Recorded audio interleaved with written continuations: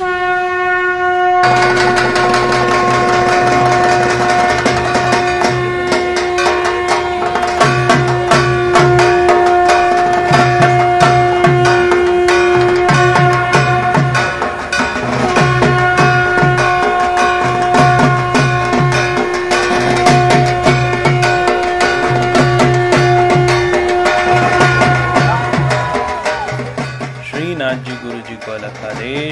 भगवती को अलग आदेश रांची वाले भैरव बाबा को अलग आदेश आप सभी को आदेश आदेश। कई बार मैंने समझाया है अलग अलग विषयों पे बात करते हुए कि किस तरीके से साधना के चरण होते हैं। कई बार मैंने आपको इस तरीके से समझाया है कि संन्यास आश्रम जो है, वो उन लोगों के लिए होता है जिन्होंने सब कुछ अर्जित कर लिया हो। अघोर उनके लिए होता है, जिनके पास सब प्रकार की शक्तियाँ हैं, लेकिन वो शक्तियों को त्याग कर देते हैं। कई बार मैंने आपको उसको योग के चरणों के हिसाब से समझाया, आपको ये भी बताया कि शुरुआत में जाप करते हैं, फिर हवन करते हैं, फिर ध्यान करते हैं अलग अलग साधना का चरण है। लेकिन मुझे एक, मेरे बहुत प्रिय शिष्य ने बोला कि एक आम व्यक्ति की भाषा में अगर इसे समझना हो तो कैसे समझे? टेक्निकल टर्म्स को हटा के। तो उसी विषय पर आज मैं आप लोगों को ये वीडियो बता रहा हूँ। जब सृष्टि का निर्माण हुआ, जब पहला बार, पहले मनुष्य की संरचना हुई, अगर आप उसको समझ जाओगे तो आप समझ जाओगे कि साधना का क्या क्या रूप है।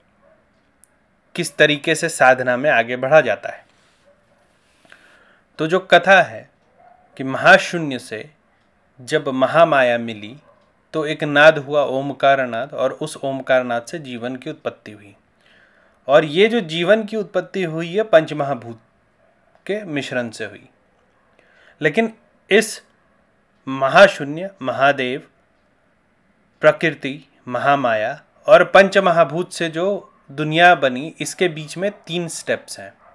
और वो जो तीन चरण है, वो हमें पता नहीं होता है इसीलिए हमें पता नहीं होता कि साधना कैसे करनी है, किस समय हमें सोल तक पहुँचना होगा। किसी भी चीज़ को आप कूद के नहीं पकड़ सकते। जो उसके चरण हैं, जो लेवल्स हैं, वो क्रॉस करना होता है। तो जब महाशून्य में महामाया का मिश्रण हुआ तो एक लाइफ फॉर्म का निर्माण हुआ। तो कहा जाता है कि जो महाशून्य है, महादेव है, वो सोचते नहीं हैं, वो विचारते नहीं हैं। अवधूत अवधूत का जो आपने एक संज्ञा देखा होगा, वो सोचता नहीं वो बाल्य काले में होता है। उसमें जब महामाया का मिश्रण होता है तो फिर वो इंटेलिजेंट हो जाती है ये शक्तियाँ। तो सोल मतलब शून्य, उसके बाद महामाया मतलब माया, उसके बाद तीसरा जो कॉन्स्टिट्यूटेंट आया, उसमें वो आया इंटेलिजेंस का मतलब सोचने समझने की शक्ति का। जब सोचने समझने की शक्ति आई तो फिर चौथा कॉन्स्टिट्यूटेंट आया, वो हुआ अहंकार का, कि मैं ये कर सकता हूँ, ठीक है? और फिर अहंकार हावी होता है, आपकी ग्यारह इंद्रिया और पाँच तमनत्र पर। और जब ये सारे चीज़ों का मिश्रण होकर के पंच महाभूत में समावेश होता है तो फिर बनता है एक मनुष्य। तो जब हम साधना शुरू करते हैं तो परम शक्ति तक, वो जो शून्य शून्य, महाशून्य शून्य में एक ओंकार, जो अहम ब्रह्म अस्मि का भाव है, वो ब्रह्म तक पहुँचने में हमें ये चार चीज़ों पर विजय पानी होती है। पहली पहले चरण में इंद्रियों पर दूसरे चरण पे अहंकार पर, तीसरे चरण पर बुद्धि पर, चौथे पे प्रकृति पर, और उसके बाद फिर ब्रह्म पर पहुँचते हैं। तो इंद्रियों पर जब आपको शक्ति मतलब आपको जब विजय पाना है तो वो होता है योग से। योग से और वाइब्रेशन से, जो मंत्र का वाइब्रेशन है तो पहला चरण साधना का योग यानी शरीर शरीर की जो इंद्रियाँ हैं, उस पर काबू करना।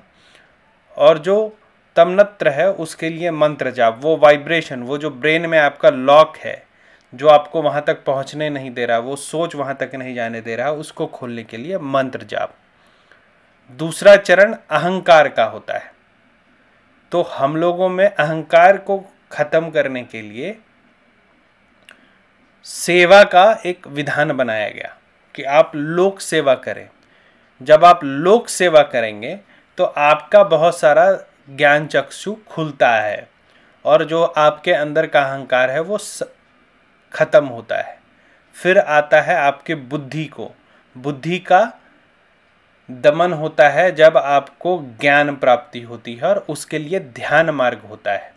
जब आप ध्यान करना शुरू करते हैं तो फिर जो आपके पास अभी बुद्धि है, वो ये समझ पाती है कि वो कितनी छोटी है ब्रह्मांड के ज्ञान के लिए।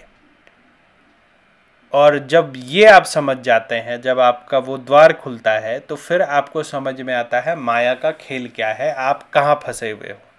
एक बार जब ये माया का खेल खुलता है, इन तीन तत्वों को चार स्टेप को पार करने के बाद तो फिर माया माया के समान ही लगती है। आप समझ जाते हो कि ये जिस तरीके से जब आप सपना देख रहे होते हो तो कई बार आपको आभास हो जाता है अच्छा अच्छा ये सपना है।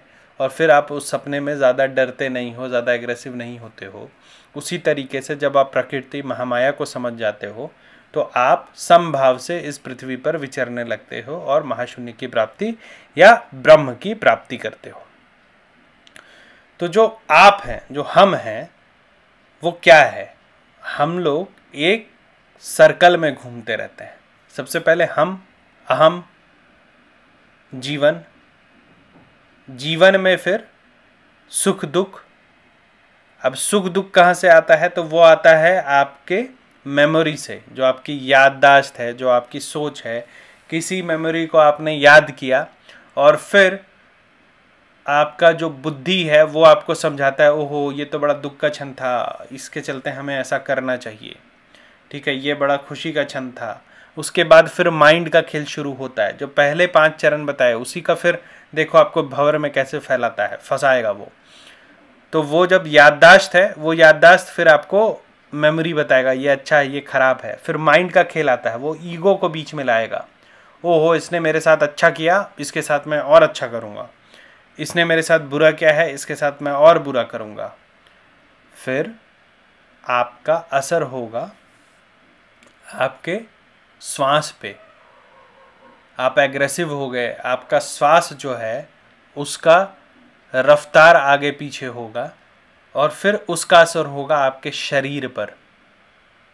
और फिर जो आप इस इस विचार से बने, जो आपके श्वास ने आपको बनाया, जो आपके शरीर ने विकृतियाँ पाली वही आप संसार के सामने होगे और फिर संसार वैसा ही बनेगा आपका।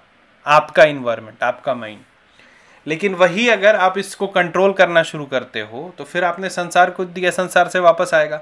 संसार वैसा ही आपके शरीर को ट्रीट करेगा। आप बुरा करोगे तो आपके साथ और बुरा होता जाएगा।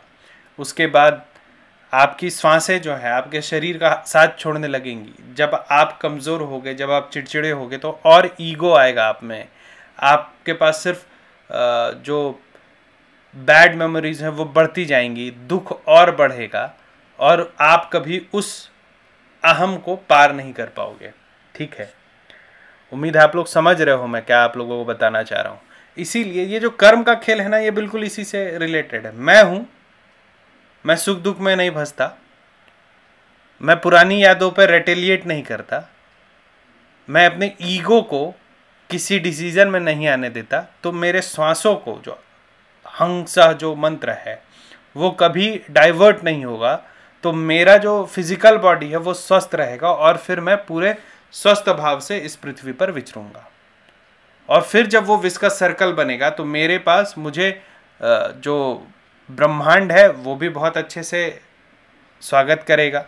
मेरे पास सिर्फ़ अच्छी यादें रहेंगी। मेरे, मेरा ईगो जो है, उसका कभी मुझे आवश्यकता नहीं पड़ेगा और सुख और दुख का अनुभव फिर धीरे धीरे विलुप्त हो जाएगा और तब मैं अहम ब्रह्मास्मि हो जाऊँगा।